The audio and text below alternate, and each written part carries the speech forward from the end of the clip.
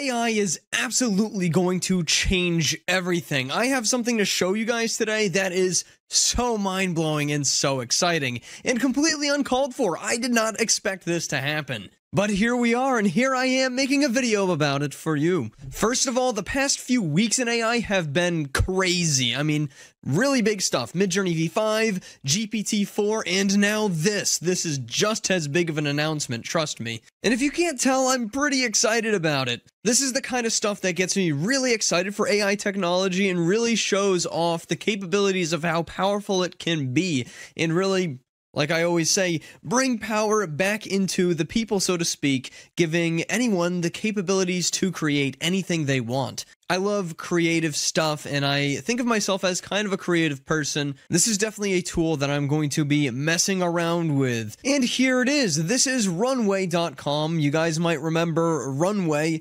Essentially, they create a bunch of different AI tools and they're very good at it. You might remember them from this video I did a while back, about a month ago, where they showed off their new AI video generation product. And that was called Gen 1, but now it's evolved into Gen 2. So this is the next step forward for generative AI. With Gen 2 now, AI text to video generation is possible, and this is huge. Of course, we've known about text to image generators for a while now, and they've been blowing up in the past year and a half or so. Things like Midjourney, DALL-E 2, and Stable Diffusion come to mind, where beautiful images were generated just with a text prompt, and now Runway ML research is trying to bring that into video with Gen 2, and we're going to talk about the other text to video applications that have happened so far in the AI space, and actually there is a text to video generator that you can use for free right now too, and we're going to be mentioning that. But yes, Gen 2 is huge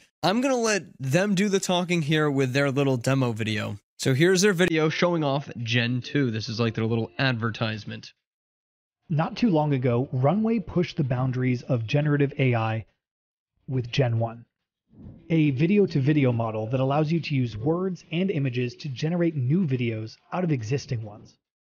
In the weeks since launching, the model has constantly gotten better. Better temporal consistency, better fidelity, better results. And as more and more people gained access, we unlocked entirely new use cases and displays of creativity. And today, we're excited to announce our biggest unlock yet text to video with Gen 2. Now you can generate a video with nothing but words. No driving stuff. video, no input image. Gen 2 represents yet another major research milestone and another monumental step forward for generative AI. With Gen 2, anyone, anywhere can suddenly realize entire worlds, So animations, cool. stories, anything you can imagine. Gen 2, coming very soon to runwayml.com.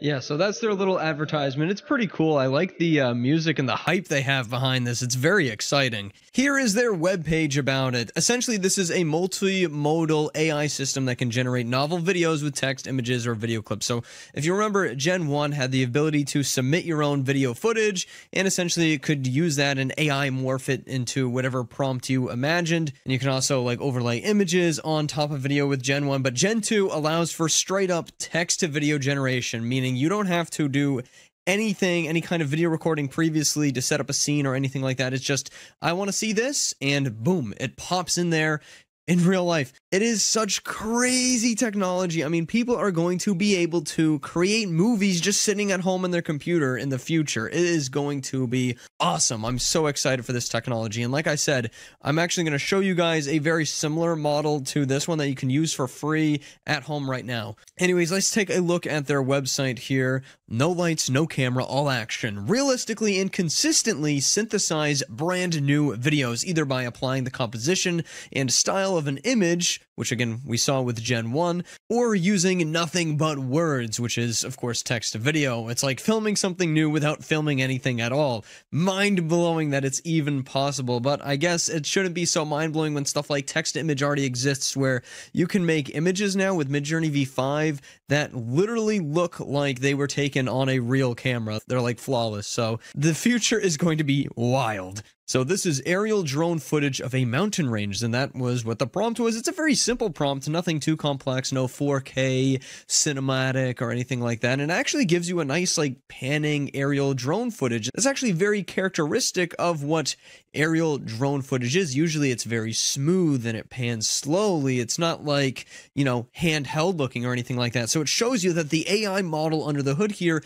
is absolutely able to understand the different cinematic styles and different camera styles that we typically see with filmmaking. And that's really, really cool. And I love this right here, bringing the magic back to making movies. Making movies and making films almost seems like a lost art nowadays, especially with the advent of YouTube. I mean, I'm a YouTuber, but I feel like the internet in some ways has killed that art of filmmaking, and less and less people go to the movies, and movies lately have been getting worse and worse, in my opinion. My, one of my hopes for the future of this technology is that really creative people are finally going to be able to use tools such as Gen 2 to bring their imaginative ideas to life. And we're going to start seeing brand new content that has a lot of soul to it and a lot of really crazy, awesome creativity. And it's not so corporate and bland.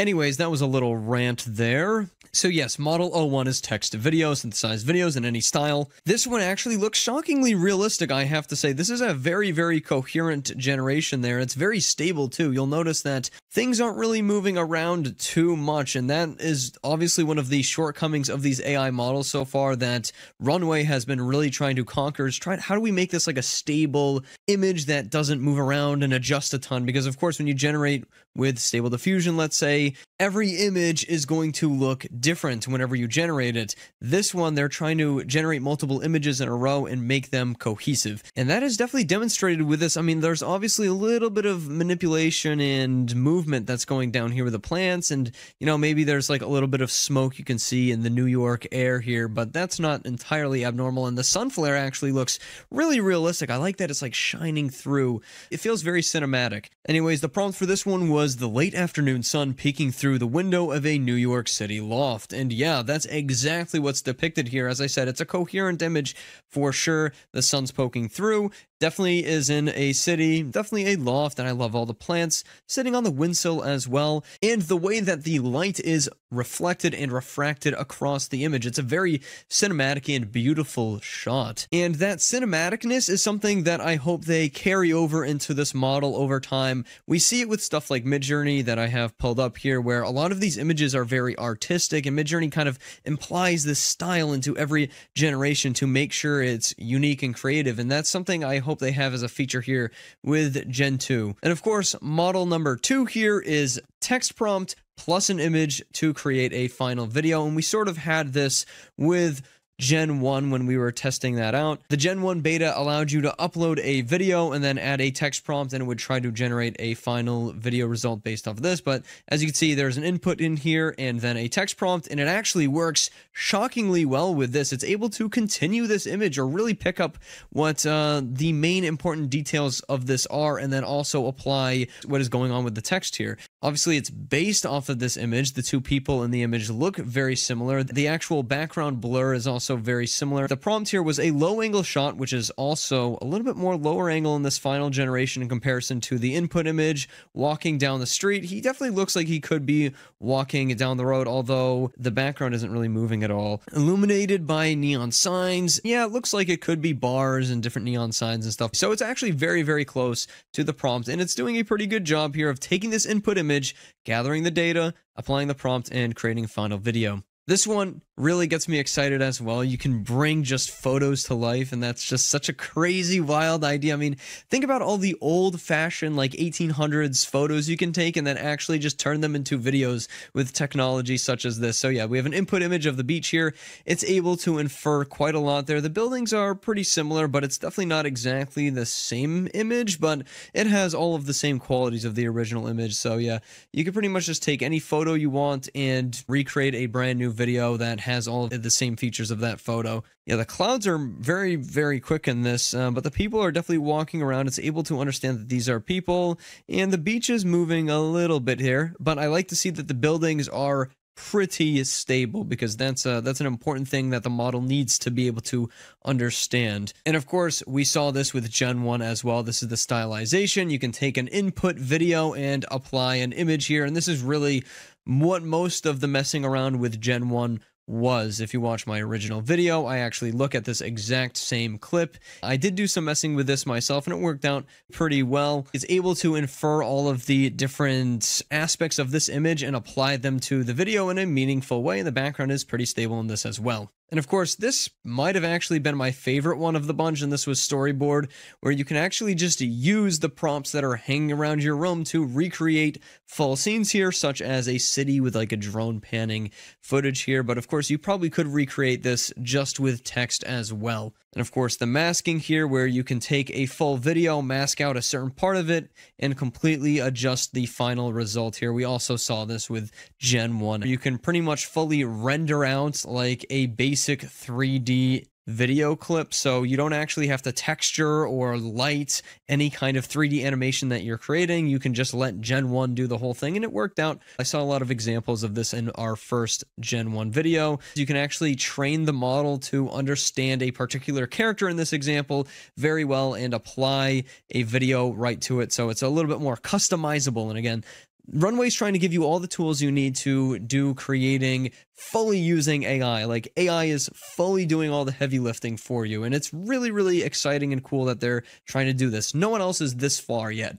And yeah, they finish off here saying a new era for motion and pictures. Runway Research is dedicated to building the multimodal AI systems that will enable new forms of creativity. That's really what their focus here is. It's not on like, how can we make businesses function better? It's all about how do we empower creators and let them create new things that have never been able to be done before. So yeah, I do actually have a lot of respect for this company in that regard because those are some values that I also hold. And yeah, they also have a paper that I will link down below as well on this whole thing. So yeah, what's the release date on this? Well, they don't give us a release date on the text to image yet, but we can kind of make some assumptions. Gen 1 access and like the, the little beta testing of Gen 1 was done through their Discord server with a select handful of people that signed up to their waitlist. So you can expect them to release a waitlist pretty soon. And I will, of course, notify you viewers at home. So get subscribed and I'll make a post about it for sure when they actually do offer a waitlist. Of course, we will be showing you some free text to video generation in this video. So this is ModelScope text to video synthesis on Hugging Face. This is a completely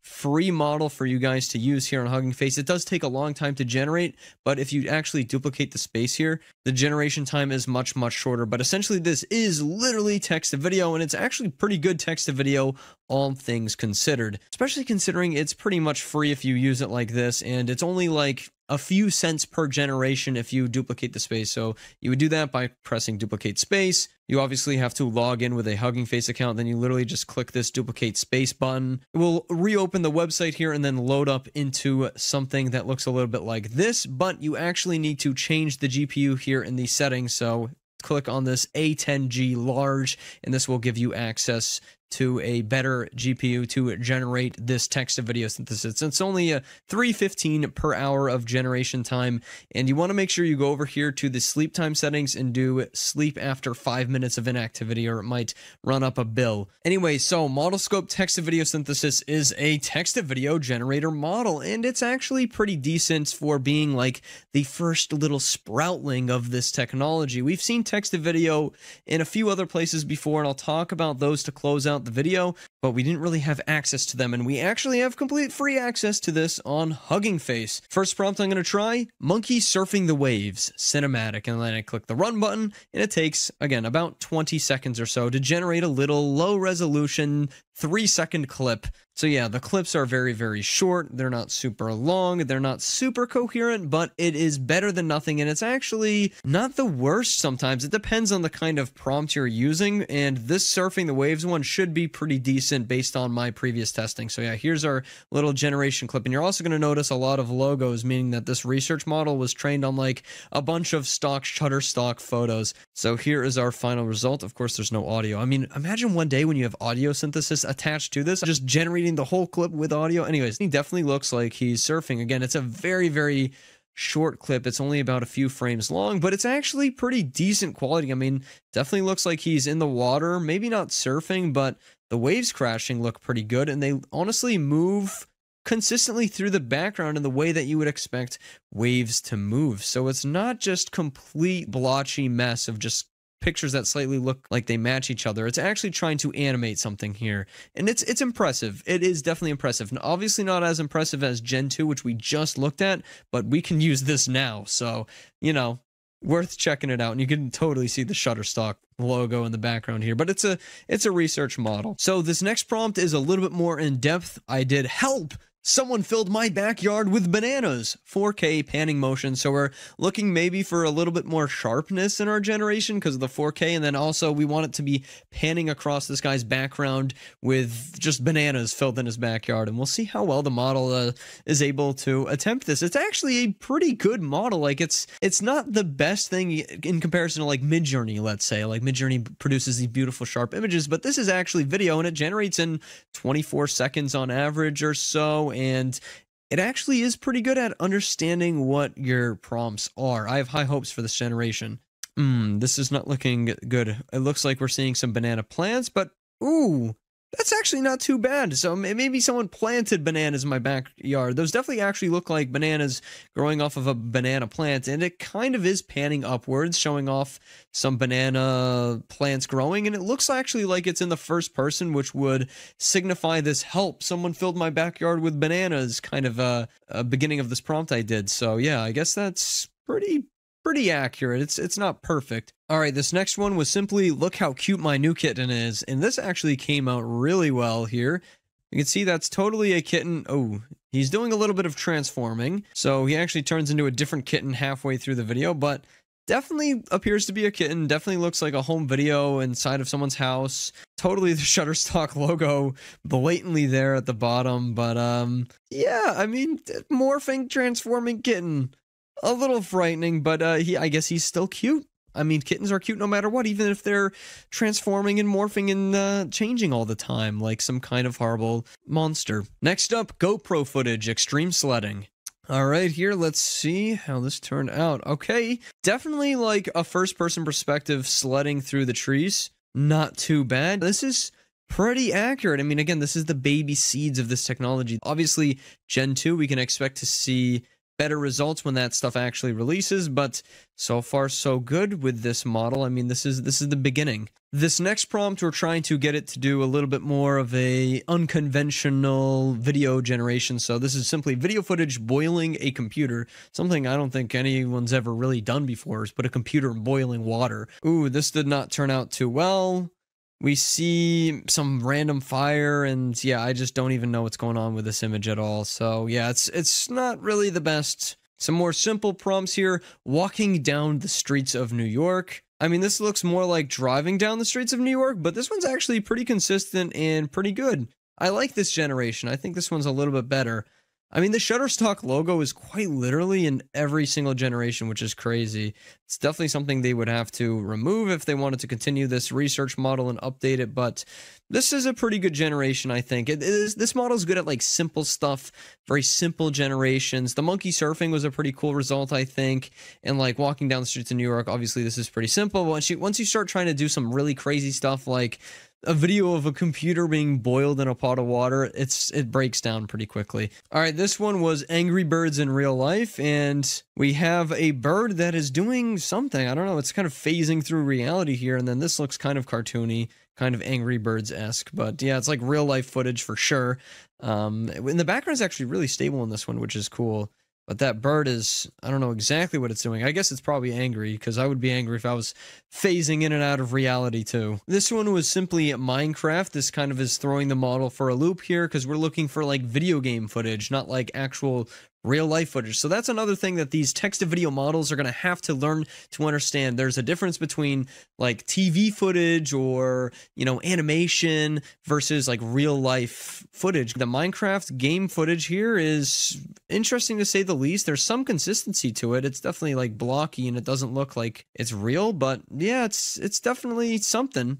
It's definitely something. It's it's it's not getting it confused as far as I can tell. It's just not very coherent. Oh, fun fact, guys, you can also use this on Colab, which again will be free as well. This one might be a little bit faster than the Hugging Face. But yeah, that is the Model Scope text to video synthesis. It's kind of like a free little model demo you can try out now. Obviously, Gen 2 is going to be a lot better than this. Google's potential video generation is going to be better than this, and so is Meta's. All the way back in October of last year, I talked about Google's Imagen video, which was like their AI video text generator. And of course, Google has this history with their AI technology of never releasing it or never letting anyone really try it out for themselves. So we never got to try this. But this is something I thought was worth mentioning here because it's really like this is the future of text to video, for example. It, it really shows you what is possible. Very, very exciting technology. These are high resolution, actually up to 720p pretty much video generations, and they're high frame rate as well and very, very consistent. So yeah, this is the kind of technology we can expect out of Gen 2 pretty pretty soon maybe even this year like later in the in the year when gen 2 gets updated enough and improved enough we'll see stuff of this quality and people actually creating whole movies and YouTube videos and